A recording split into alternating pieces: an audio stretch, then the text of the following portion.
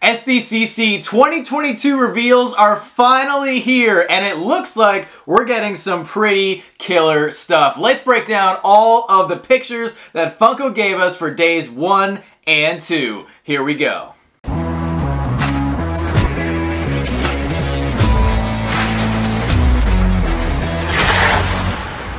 What's going on everybody? Welcome back to the channel. We have a very exciting video for you guys today as we're going to be breaking down all of the reveals that Funko gave us for days one and two of San Diego Comic-Con 2022. And first off, right off the bat, I am super excited just because San Diego Comic-Con is going to be happening in person this year for the first time in a few years now. So very exciting for that. And Funko has even dubbed their section of San Diego Comic-Con as Funkoville, and you guys will be seeing that logo quite a bit, and they even have their own t-shirt that they're going to be releasing with the Funkoville logo on it. So, without further ado, let's jump into these reveals. So the first reveal that we actually got from Funko was actually not one, but two pops, and it happens to be their mascot for San Diego Comic-Con, the Toucan, and we're actually getting two more Toucans. They've been doing this for a few years now. Um, I believe last year we got the Toucan Astronauts and a whole bunch of other ones, but this year we're actually getting the Toucan as a pirate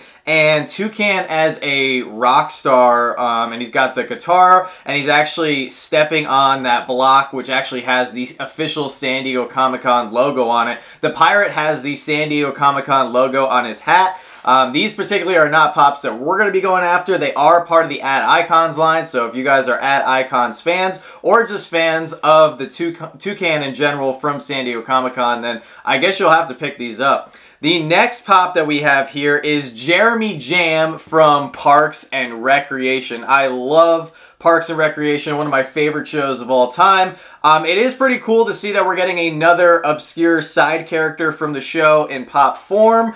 Um, he does have a little bit of a dynamic pose. He's got his signature um, little bit of an afro hairstyle, and uh, he's also pointing, which is pretty funny. That pretty much well represents his character from the show. Even though I'm a big Parks and Rec fan and a collector of that line, I don't think I'll be grabbing this one for my collection just because I wasn't really a fan of his character from the show. Nonetheless, cool pop.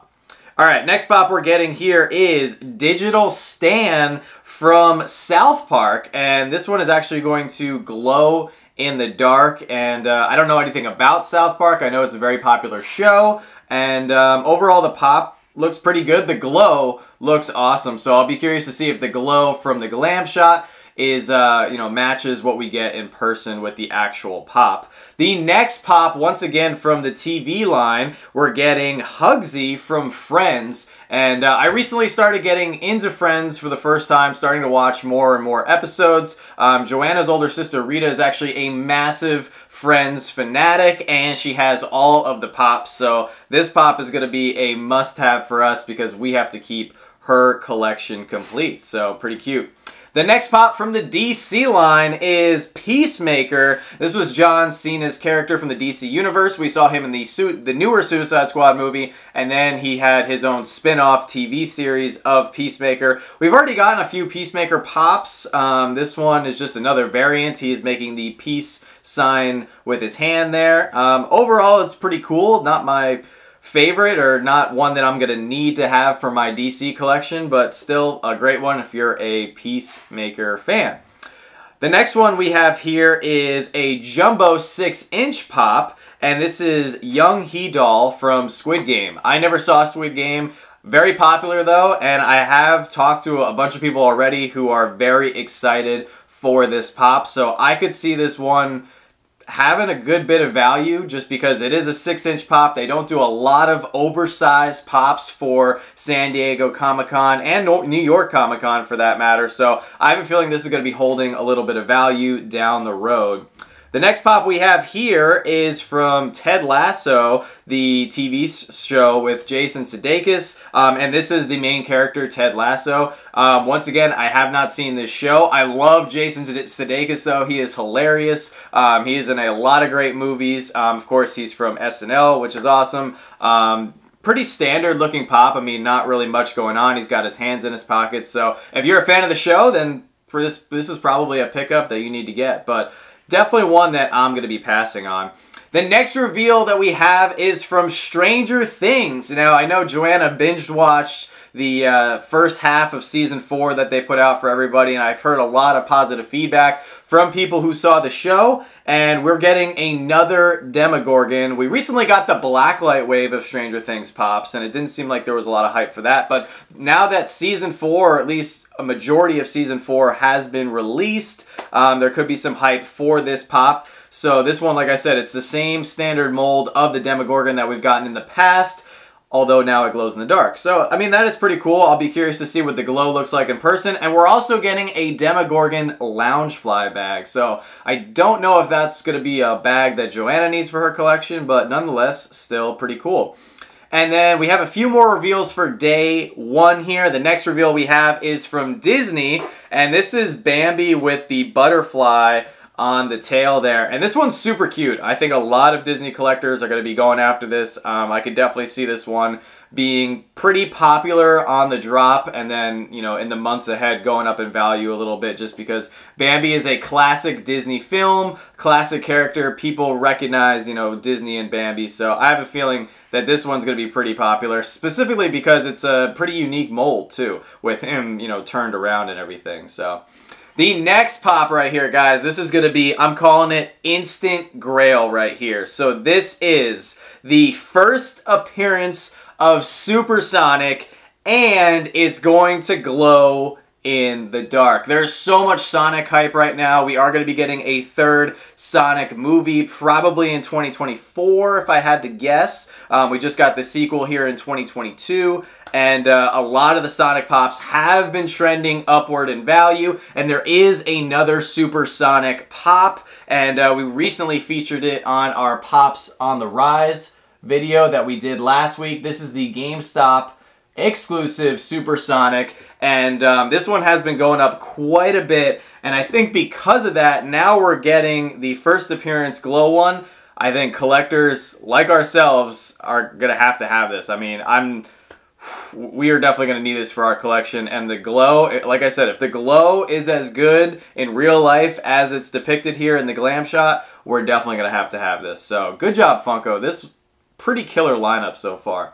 And then, like I mentioned in the beginning of the video, we are getting a brand new t-shirt. This is the Funkoville t-shirt, and uh, I'll be curious to see if this is an exclusive t-shirt only to the con or if they will be selling it at HQ or Hollywood because I would definitely like to get my hands on one of these t-shirts. Um, it just overall looks pretty cool and Funko has been doing a lot of t-shirts in the last few years but when they release specific ones to specific events it gets me excited. I kind of want it. So hopefully I can make friends with somebody or know somebody who can help me get one because I, I, would really love to have that. So now we're going to move moving into day number two for our San Diego Comic-Con 2022 reveals. And guys, we get to kick it off with the sodas. And we got some really good sodas we have to talk about here. So the first one being, I mean, when I woke up this morning, I mean, the first soda they revealed got a lot of people talking and it deserves a lot of hype and a lot of recognition because this is only the second time that Funko has done this. We are getting a soda with not one but two chases and Funko definitely needs to keep this up. And if they can keep doing this where they make a soda have two chases for a con soda I mean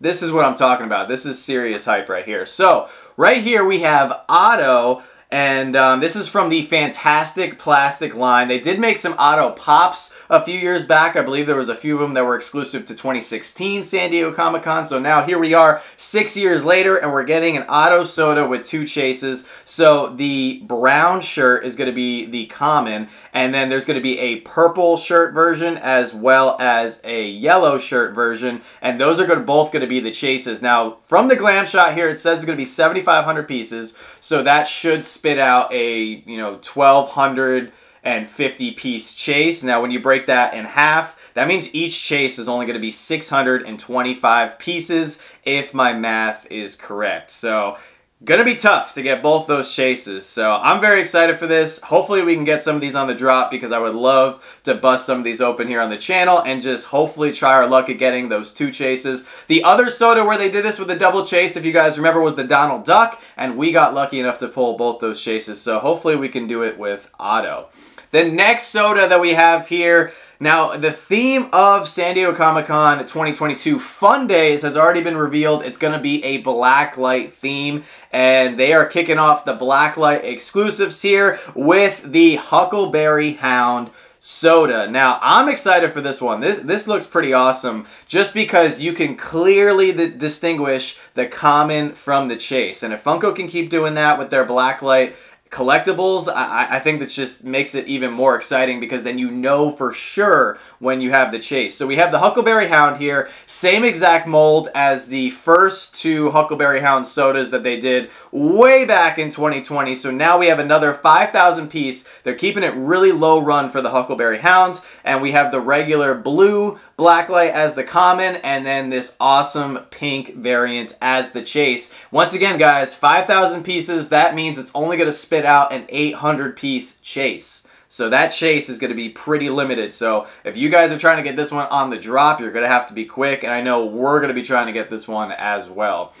The next soda that we have here from the very popular Lord of the Rings line, we have Bilbo Baggins. Now, if you guys saw recently, we were lucky enough to open up some of the uh, Frodo sodas right here on the channel. So I have a feeling a lot of people are going to want to get Bilbo to go with their Frodo sodas. Now, looking at the soda here, the Glam Shot is telling us that it's going to be a 10,000 piece soda um, with the chase as you know he's screaming here he doesn't have his his walking stick so pretty cool chase um, different mold there which I definitely like they switched out the uh, the face obviously and the uh, both arms. I was going to say the right arm, but both arms are different. So great job, Funko, on this one. Continuing the Lord of the Rings hype with the sodas. So moving into the next soda reveal, we actually have a really cool one. It's not going to be something that I'm particularly going to be grabbing for our soda collection, but the mold on this one is super cool. So this is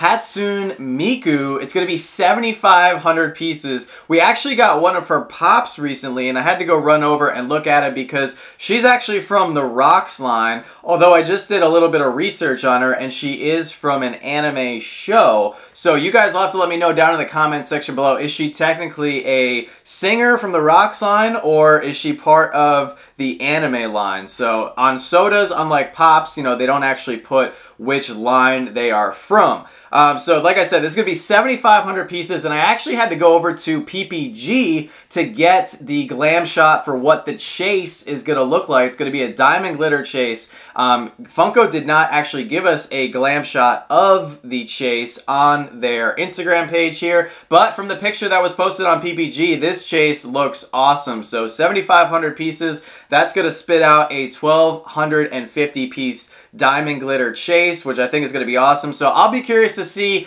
if this soda gets in some more anime collectors or rock collectors into the soda game because I can definitely appreciate the really cool mold on this soda with her hair basically going down to the floor and then curling back up. So pretty cool and uh, very good job by Funko to continue keeping the piece counts down on some of these brand new con sodas. So now moving into the next soda, this is without a doubt the one that I am most excited about here for San Diego Comic-Con 2022. It is from the Marvel line. It's going to be 15,000 pieces, so they are throwing that low piece count out the window as they are expecting a lot of Marvel fans and collectors to try to go after this one. And this is Star-Lord specifically from Guardians of the Galaxy Volume 2. And both of the variants of this soda look fantastic. The common has him with his guns and his signature Star-Lord mask. And then the chase is a completely different head mold and arms and it actually has him with his headphones and his Walkman. And if you guys saw Guardians of the Galaxy Volume 1 and Volume 2, you will know that the music for both movies was pretty significant. Um, they did a great job with the score for both those films, and Peter Quill loves having his awesome volume mixtape. So I think Funko did a great job on this soda. And even though it's a little bit higher in terms of piece count, I mean, that doesn't throw me off at all. I'm very excited to get this one and I'm really hoping that we can pull the chase because this is a must have for our collection. And now we'll be able to have Star-Lord go with our Groot as well as Rocket. So I'll be curious, when are we going to get Gamora and Drax? So hopefully we get those. Maybe we get one for New York Comic Con and maybe we get Gamora for Emerald City Comic Con because she's green. That would make a lot of sense. So now moving into the next soda, this is from the DC universe. And unlike Star-Lord, uh, this is a character that I am not familiar with. So this is Larfleeze. And like I said, I've never heard of this character. However, the soda looks very, very cool. We have a very interesting mold, and the chase is going to be glow in the dark. Once again, we are going back to a very low piece count with this soda, only going to be 5,000 pieces. So I'm not sure. I'm kind of undecided on this one, if this is going to be a must-have for my DC collection or not. We'll see. All right, now moving back into Pops. Funko wasn't just doing sodas for day two, they also gave us some great pops to look forward to, continuing with the DC theme. So the next pop that we have to look at is Starfire, specifically Starfire from the Justice League, which is something that we've never really gotten before. We've gotten Starfire from the Teen Titans, and um, I was kind of hoping we were get, gonna get Starfire or one of the members of the actual Titan show, but this is gonna be Starfire from the Justice League line, and I think the mold on this is awesome. She's got her signature glow right around her hands. There's a nice little fire uh, display right at the bottom of her feet, and she's got awesome pink hair and her green eyes. So overall, I'm very excited about this pop, and this is going to be one that I definitely have to have for our collection. Continuing with the DC theme, the next pop we have is actually another deluxe pop. So Funko is really killing it with giving us different sizes for pops for San Diego Comic-Con 2022. And right here we have from Batman Returns, the Michael Keaton sequel, we have have the penguin in his duck mobile here, the duck ride. So this is pretty cool. Um, I think we're undecided if we're going to get this one for our collection at the moment. Um, I'll be curious to see exactly how big it is. It says deluxe, so instead of ride, usually when it's a ride, it's in a bigger box, but it says deluxe, so it should be in that um, that six by six square box. It's a little bit bigger than your typical four inch pop. Um, I have a feeling this will look really good out of box, so I definitely want to see how this translates in person, and that'll probably be the deciding factor before we grab it.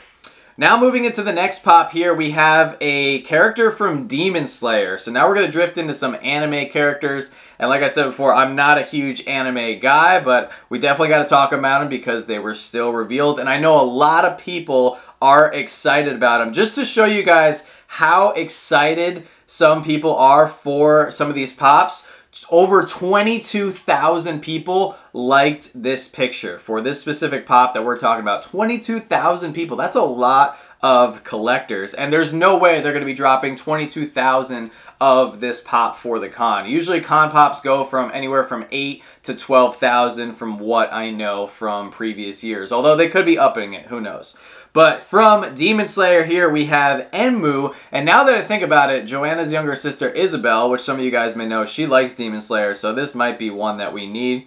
Um, looking at the pop, pretty cool. I mean, uh, this character has some pink in their hair, which is pretty cool. I don't know anything about the pop, but like I said, 22,000 people liked this photo, so a lot of people are excited for this one. Now, the next pop we have here is from another anime, Boruto, and this is Super Cho Cho in butterfly mode. So, Funko does a great job on anime pops. Like I said, I don't know much about them, but some of these molds are killer and the details are awesome. I mean, this character in particular has her hair coming all the way over half of her face, so you can't see one of her eyes. And of course, she's got her butterfly wings there. So nonetheless, pretty cool pop.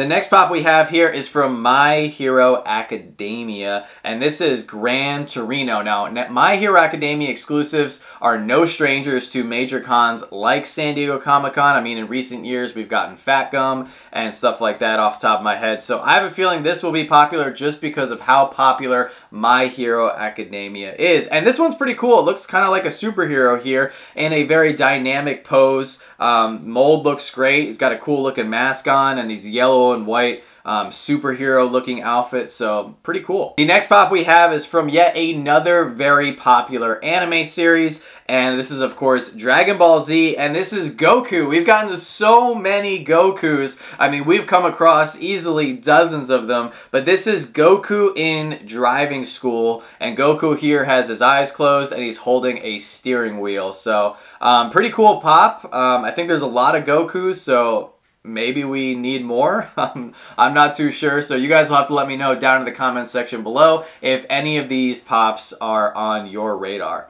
The next pop we have here is from yet another very popular show, Attack on Titan. I think I've heard so many people asking if they can get Attack on Titan pops from us and from other people in the community. So I know Attack on Titan is very hot right now. And right here we have Queen Historias. So I've never seen Attack on Titan. I couldn't tell you anything about this character, but the pop looks pretty cool. Got a very interesting crown with the uh, the gems there in the side. So I have a feeling just because Attack on Titan is once again pretty popular right now, a lot of people are probably going after this pop. Alright, so the next pop we have right here is another anime pop. So a lot of anime pops here for San Diego Comic-Con 2022, which I know a lot of people are, are, excited about, which is great. And right here we have from Jujutsu Kaisen, we have Yuji Itadori with Slaughter. Um, pretty interesting looking pop right here. He's got a huge knife in his hand, and uh, he's got some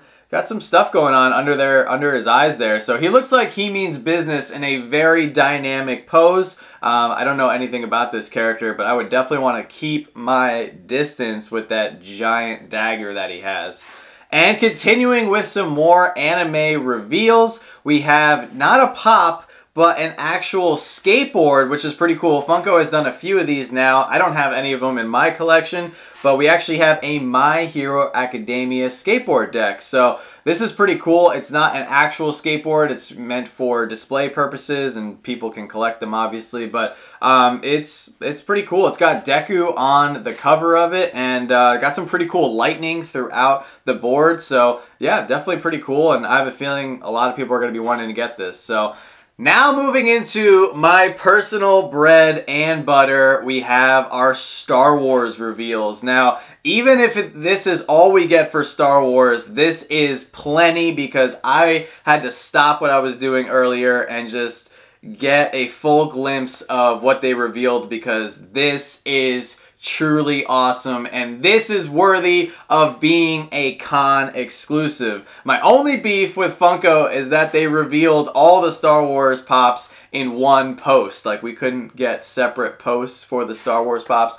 That's okay. Nonetheless, the first pop that we have here is Black Krrsantan from the Book of Boba Fett. Finally, Black Krrsantan getting his very own Funko Pop, and yes, it will be flocked. I am so excited for this pop. If you guys haven't seen the Book of Boba Fett, then you probably are not familiar with this character yet, so definitely go check him out. He is a big, huge Wookiee bounty hunter. He does have some connection to Obi-Wan Kenobi, so I'm wondering if in the show here, with the last few episodes remaining, if they're going to make any tie-in to him, or could we see him in uh, Season 2 of Obi-Wan Kenobi? I hope that we see him in a possible season two of the Book of Boba Fett, or maybe in The Mandalorian, because he is a great character and I thoroughly enjoyed seeing him in the Book of Boba Fett, and I'm so excited that we are finally getting his first pop here in 2022. The next pop that we have here is Andor, specifically Cassian Andor, and if you guys haven't heard, Andor is actually getting his very own Disney Plus series, which is going to be coming out